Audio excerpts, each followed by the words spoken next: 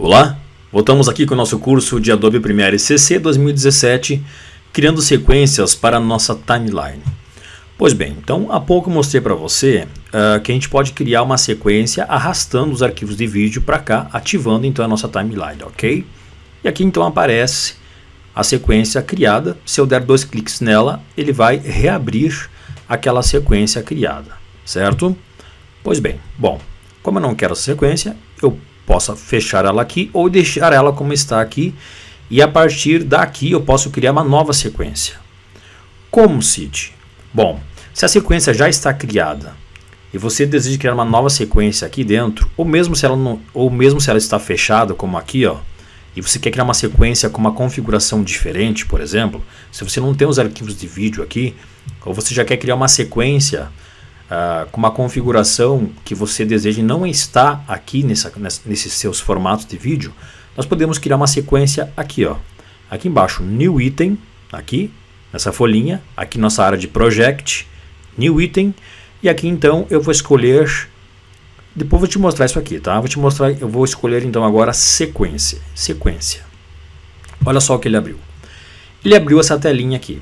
Essa telinha ela vinha nas configurações nas versões anteriores do Premiere. Quando você criava um projeto aqui no arquivo novo, ele entrava aqui para você escolher então e já criar uma sequência de cara de acordo com o que você queria. Agora então ela está disponível por aqui. Então olha só, aqui nós temos todos os formatos possíveis que o Premiere trabalha, ok? Então nós temos vários formatos aqui, tá? Vários formatos de acordo com a configuração da sua câmera, de acordo com a configuração do vídeo.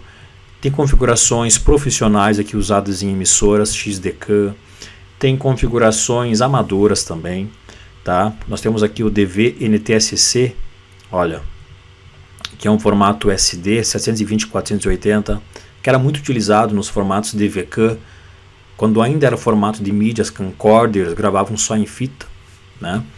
E, e hoje, por exemplo, você pode trabalhar em digital, certo? Ó, digital tanto em 1080p, olha só, Full HD, né?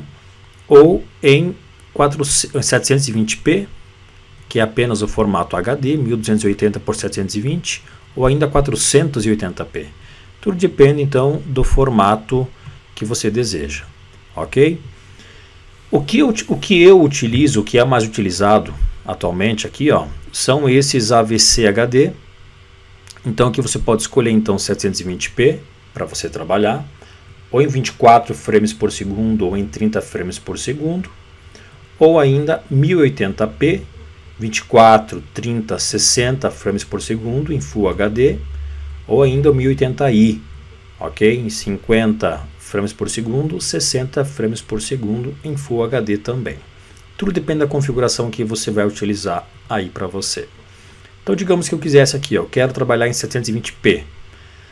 No modo de gravação, 30 frames por segundo, que seja são 30 photo frames, tá? São 30 fotos em sequência que formam um vídeo, que é assim que um vídeo se forma. Então, 29,97 frames por segundo, que é o modo de gravação NTSC, por padrão das camcorders, ok? Então nós temos esse formato aqui. Então digamos que eu quisesse editar nesse formato aqui. Eu escolho aqui, dou nome para a sequência. Então digamos uh, ah, 720p, vou colocar aqui. Dou um OK.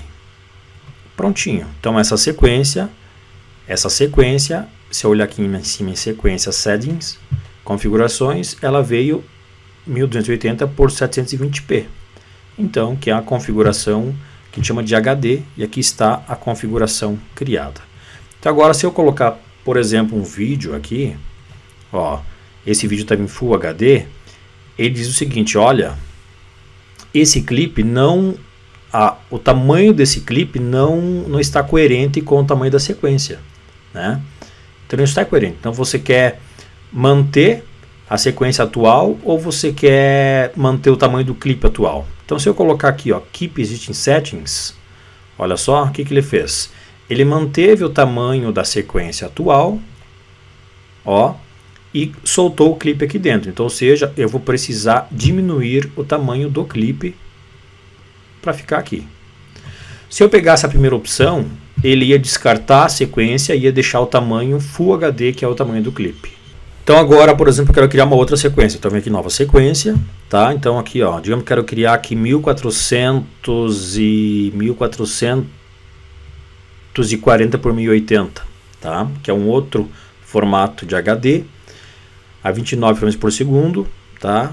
Ou não, eu quero criar 1080p, mas eu quero, por exemplo, isso aqui, ó, 59.94 frames por segundo. Eu tenho uma câmera, tenho uma camcorder, eu tenho uma DSLR que grave em Full HD, 1920 por 1080, mas ela grava em 60 frames por segundo, ou seja, 60 fotos por segundo, que vai que na hora de fazer câmera lenta fica melhor. Mas então, digamos, eu quero esse formato aqui. OK.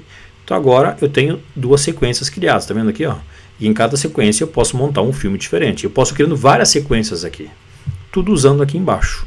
Essas sequências ficam todas elas dentro de um único projeto, ok?